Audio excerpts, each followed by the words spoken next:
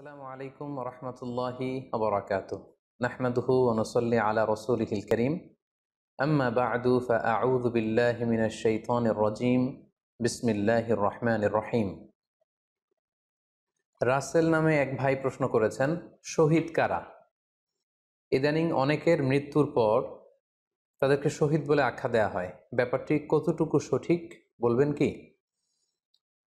প্রিয় ভাই, রাসেলের উত্তরে আমরা বলতে চাই যে এ পৃথিবীতে আল্লাহর দিনকে বাস্তবায়ন করতে যে অথবা বিজয়ী করতে যে কাফেরদের বিরুদ্ধে সশস্ত্র সংগ্রামে যে মুমিন ব্যক্তি নিহত হয়, তাকে শহীদ বলে। আই রিপিট আমি আবারও বলছি, আল্লাহর জমিনে আল্লাহর দিনকে বিজয়ী করতে যে কাফেরদের বিরুদ্ধে সশস্ত্র সংগ্রামে যে মুমিন ব্যক্তি নিহত হয়, তাকে শাহিদ বলা হয়। সহি বুখারির বর্ণনা এসছে যে সাহাবার আল্লাহ রসুল সাল্লাহ সাল্লামকে জিজ্ঞেস করেছিলেন যে, হে আল্লাহ রসুল, কারা আল্লাহ রাস্তায় জেহাদ করছে? এটা আমরা কীভাবে বুঝব? তার উত্তরে আল্লাহর হাবিব সাহা ইসলাম বলেছিলেন, মান কালা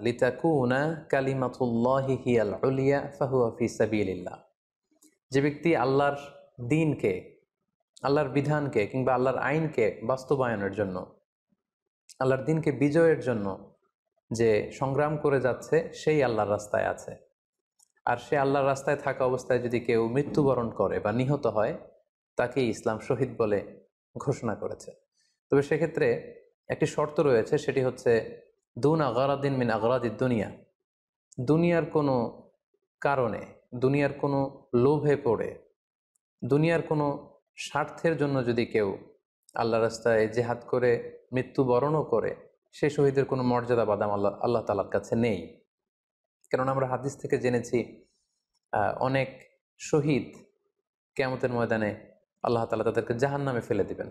আল্লাহ বলবেন যে, তুমি তো দুনিয়াতে জেহাদ করেছিলে যে মানুষ তোমাকে বীর বলবে, মানুষ তোমাকে সাহসী বলে ঘোষণা দিবে। বাহাবা পাওয়ার জন্য তুমি জেহাদে অংশগ্রহণ করেছিলে এবং সেখানে নিহত হয়েছ। তো তুমি নিহত হওয়ার পরে মানুষ তো তোমাকে বীর বলেছে, বাহাবা দিয়েছে, সাবাস বলেছে।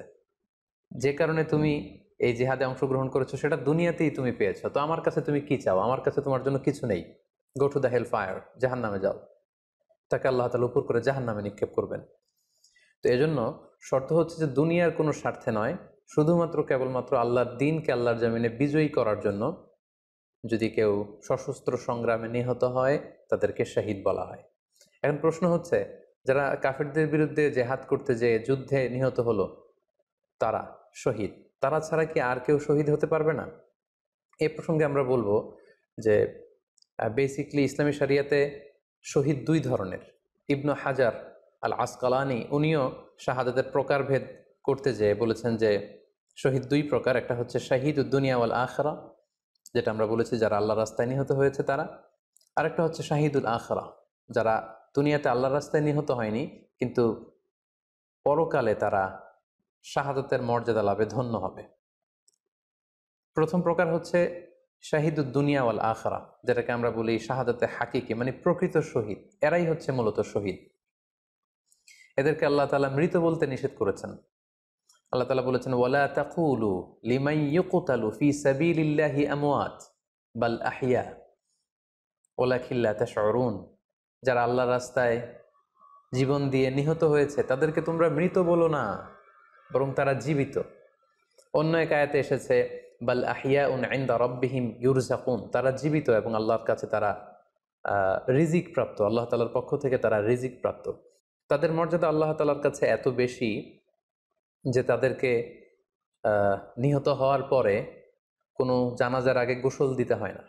তাদের রক্তাক্ত দেহটাকেই সরাসরি জানাজার পরে দাফন করে দিতে হয়। কেননা সেই ঝরঝরে রক্ত নিয়ে তারা সেদিন কেয়ামতের দিবসে আল্লাহ তাআলার দরবারে তারা হাজির হয়ে যাবে। এবং আমরা যদি কোরআনের দিকে তাকাই, কোরআন আমাদেরকে জানিয়েছে, আনা আমল্লাহ আলিহিম মিনান নাবিগিন ও সিদ্দিকিন ও সোহাদা ইউ সালিহিন। মানে সবচেয়ে শ্রেষ্ঠ তাবাকা বা দারাজা হচ্ছে নবীদের দারাজা। নবীদের পরে হচ্ছে সিদ্দিকিনদের দারাজা। এবং সিদ্দিকিনদের পরেই যাদের মর্যাদা আল্লাহ তালার কাছে সবচাইতে বেশি, তারা হচ্ছে সোহাদা এজন্য প্রতিটি মুমিনের জীবনের আকাঙ্ক্ষা বা তামান্না থাকা উচিত, তারা যেন শাহাদাতের মৃত্যু আল্লাহ তালার কাছে কামনা করে। এবং আমরা যদি সাহাবাদের জীবনের দিকে তাকাই, তাহলে দেখব ওনারা সবসময় আল্লাহ তালার কাছে শাহাদাতের মৃত্যু কামনা করতেন। সৈয়দিন ওমরে ফারুক রদি আল্লাহ তালা আনহু আল্লাহ তালার কাছে সবসময় শাহাদাতের মৃত্যু চাইতেন। সহি বুখারির বর্ণনা এসছে ওমরে ফারুক রদি আল্লাহ তালা আনহু দোয়া করতেন আর বলতেন আল্লাহম্মার জুকনি শাহাদাতান ফি সাবিলিক ওয়াজা আল মাউথি ফি বালাদি রসুলিক। মানে হে আল্লাহ, আপনি আমাকে শাহাদাতের মৃত্যু নসিব করুন এবং আপনার প্রিয় হাবিবের শহর, মদিনা শহরে আমার মৃত্যু আপনি নসিব করুন।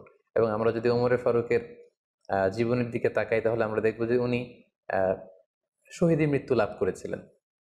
একজনের, একজন অ্যাসাসিনেটারের মাধ্যমে আত্মাইর আঘাতে তিনি শহীদ হয়েছিলেন এবং আল্লাহ রাসুসাহ ইসলামের পাশে আবু বকর আল্লাহ তালাহুর কবর, তার পাশেই কিন্তু ওমরে ফারুকের কবর।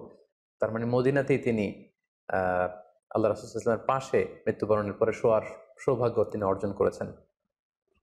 তাহলে এই আলোচনা থেকে আমরা বুঝলাম যে প্রকৃত শহীদ হচ্ছে যারা আল্লাহর রাস্তায় নিহত হয় হয় এবং এর মর্যাদা আল্লাহ তালার কাছে অনেক বেশি। কিন্তু এই শাহাদাতে হাকিকি বা প্রকৃত শহীদ ছাড়াও আরও অনেক মৃত ব্যক্তিকে আল্লাহ রসুল্লাহ ইসলামের শহীদি মৃত্যুর সুসংবাদ দিয়েছেন। তারা জেহাদে অংশগ্রহণ করেনি, তারা কাফিরদের আঘাতে নিহত হয়নি, তারা প্রকৃত শহীদ নয় কিন্তু কেমতের দিন তারা শাহাদাতের মর্যাদা লাভ করবে। তারা কারা? এ ব্যাপারে আমরা সহি মুসলিমের একটি হাদিস এখানে উল্লেখ করতে চাই, যেখানে আল্লাহ রাসুল সাল্লাহ সাল্লাম সাহাবাদেরকে জিজ্ঞেস করেছেন, মা তা আদুনা শাহিদা ফিকুম? ওহে সাহাবারা, তোমরা কাদেরকে শহীদ বলে মনে করো? সাহাবারা বললেন, যারা আল্লাহ রাস্তায় নিহত হয়, তারা শহীদ। তখন আল্লাহ রাসুল্লাহ ইসলাম বললেন, ইন্না সোহাদা উম্মাতি ইদানলা কালিল। এরকম হলে তো আমার উম্মতের মধ্যে শহীদদের সংখ্যা একেবারে কম। যারা জেহাদের সুযোগ পাবে না, জেহাদের ময়দানে কাফেরদের বিরুদ্ধে সশস্ত্র সংগ্রাম করে যারা নিহত হওয়ার সুযোগ পাবে না, তাহলে তো তারা শহীদ হতে পারবে না। সাহাবরা এই কথা শুনে বললেন, ইয়া তাহলে কারা শহীদ? আপনি বলেন। তখন আল্লাহ রাসুল্লাহ ইসলাম বললেন যে, যারা আল্লাহর রাস্তায় নিহত হয়, তারা তো শহীদ বটেই। পাশাপাশি, ওমান মাতাফি তউনি ফাহুয়া শাহিদ। মহামারীতে যারা মারা যায়, তারাও কিন্তু শহীদ। প্লেগ রোগে বা মহামারীতে। এই যে করোনা ভাইরাসের সময় যারা ইমানের সাথে ইন্তেকাল করেছে, তাদেরকেও আল্লাহ তাআলা শাহাদাতের মর্যাদা দান করবেন। ওমান মাতাফিল বতনি ফাহুয়া শাহিদ। পেটের পীড়ায়, পেটের কোনো রোগে যদি কেউ আক্রান্ত হয়ে মারা যায়, সে কেমতের দিন শাহাদাতের মর্যাদা লাভ করবে। বল গরিক শাহিদ। পানিতে ডুবে যদি কেউ মারা যায়, সেও শাহিদ। এভাবে অন্যান্য আরও অনেক হাদিসে, কোনো হাদিসে পাঁচজন, কোনো হাদিসে সাতজন, কোনো হাদিসে আরও বেশি। এভাবে আরও অনেক ব্যক্তিকে আল্লাহ রাসুল সাল্লাহ আলহি ওয়াসাল্লাম শাহাদাতের মর্যাদা লাভে তারা কেয়ামতের দিন ধন্য হবে, এই মর্মে তিনি আমাদেরকে জানিয়েছেন। সুনানে নাসাইর একটি বর্ণনা থেকে আমরা জানতে পারি আল্লাহ হাবিজ ইসলাম বলেছেন, মান কুচিলা দুনা মজলামাতি হিফাহুয়া শাহিদ। অন্যায়ভাবে যদি কাউকে হত্যা করা হয় হি ইজ ডিফেন্ডিং ইনজাস্টিস অন্যায় প্রতিরোধে সে মারা গিয়েছে, এরকম মৃত্যুকেও তিনি শাহাদাতের মৃত্যু বলে ঘোষণা করেছেন। সুনানি তিরমিজের আরেকটি বর্ণনায় আল্লাহ রসুল্লাহ ইসলাম আরও কিছু ব্যক্তিকে শহীদ বলে ঘোষণা করেছেন। যেমন তিনি বলেছেন, মান কুতিলা দুনা দিন হিফাহুয়া শাহিদ। কেউ তার দিনকে হেফাজত করতে যেয়ে যদি মৃত্যুবরণ করে, সে শহীদ। ওমান কুতিলা দুনা দামি হিফাহুয়া শাহিদ। নিজের রক্ত বাঁচাতে যেয়ে যদি কেউ মৃত্যুবরণ করে, শহীদ। তার সম্পদ বাঁচাতে যেয়ে যদি মৃত্যুবরণ করে, সে শহীদ। তার ফ্যামিলিকে সেভ করতে যেয়ে কেউ যদি মৃত্যুবরণ করে, সেও শহীদ। তার সম্মান, ইজ্জত, তার স্ট্যাটাসকে বাঁচাতে যেয়ে যদি কেউ মৃত্যুবরণ করে, সেও শাহিদ। আরেক বর্ণনায় আমরা জানতে পারছি, আল্লাহ ইসলাম বলেছেন, ওয়াসহিবুল হাদমি ফাহুয়া শাহিদ। অর্থাৎ ধ্বংসস্তূপের নিচে চাপা পড়ে যদি কেউ মারা যায়, বা কোনো দেয়ালের নিচে চাপা পড়ে যদি কেউ মারা যায়, সে শাহিদ। ওসহিবু জাতিল জানবি শাহিদ। অর্থাৎ ফুসফুসের কোনো রোগে লেটসে লাং ক্যান্সারে যদি কেউ মারা যায়, ফুসফুসের কোনো ভয়ানক রোগে যদি কেউ মারা যায়, সে শাহিদ, শহীদের মর্যাদা পাবে। আল হারিয়াকু শাহিদ, আগুনে পড়ে যদি কেউ মারা যায়, সেও শহীদ। ওয়াল মার আতু তামু তুবি জুমাইন শাহিদ। বাচ্চা পেটে ধারণ করেছে, অর্থাৎ গর্ভবতী মা যদি এই প্রেগনেন্সির কারণে কিংবা বেবি ডেলিভারি করতে যেয়ে যদি মারা যায়, সেও কিন্তু শহীদদের কাতারে দাঁড়াবে। এভাবে আমরা বিভিন্ন হাদিসের আলোকে এবং আল্লাহ রাসুল সাল্লাহ ইসলামের সুসংবাদ বাণীর আলোকে আমরা বুঝতে পারি যে আল্লাহ রাস্তায় যারা জেহাদ করে আল্লাহর দিনকে বিজয়ী করতে যে মৃত্যুবরণ করেছে, তারা হচ্ছে প্রকৃত শহীদ। তাদের মর্যাদা আল্লাহ তালার দরবারে অনেক অনেক বেশি। কিন্তু এই শহীদ ছাড়াও আরও অনেক ধরনের মৃত্যুকে আল্লাহর হাবিব সাহা ইসলাম শাহাদাতের মৃত্যুর সাথে ঘোষণা করেছেন। সো যারা জেহাদে মারা গেল, তারাই শহীদ, বাকিদেরকে শহীদ বলা যাবে না। এই কথাটি ঠিক নয়। বরং আল্লাহ রাসুল ইসলাম নিজেই চেয়েছেন। তিনি বলেছেন যে, তোমরা যদি শুধু এই এক শ্রেণীকে শহীদ বলো, তাহলে তো আমার উম্মতের মধ্যে শহীদের সংখ্যা একেবারে কম। আর আমি চাই আমার উম্মতের মধ্যে থেকে অনেক সংখ্যক লোক এই শাহাদাতের দ্বারাজা এই মর্তবা, এই মর্যাদা লাভ করে ধন্য হোক। তাই আমরা যে কেউ একটি বর্ণনার কথা বললাম, এছাড়াও আরও অনেকগুলো বর্ণনা আছে। এই ধরনের মৃত্যু যারা বরণ করেছে লেটসে পানিতে ডুবে, আগুনে পুড়ে, পেটের পীড়ায়, নিজের সম্পদ বাঁচাতে যে অন্যায়ের প্রতিরোধ করতে যে, সন্তান ভূমিষ্ঠ করতে যে, এরকম যত ধরনের মৃত্যু রয়েছে, এ ধরনের মৃত্যুকে আল্লাহ রসুল্লাহ ইসলাম শহীদি মৃত্যু বলেছেন এবং কেয়ামত দিবসে এই সমস্ত লোকেরাও তারা শাহাদাতের মর্যাদা লাভে ধন্য হবে ইনশাআল্লাহ। আশা করি প্রশ্নের উত্তর আপনি পেয়েছেন।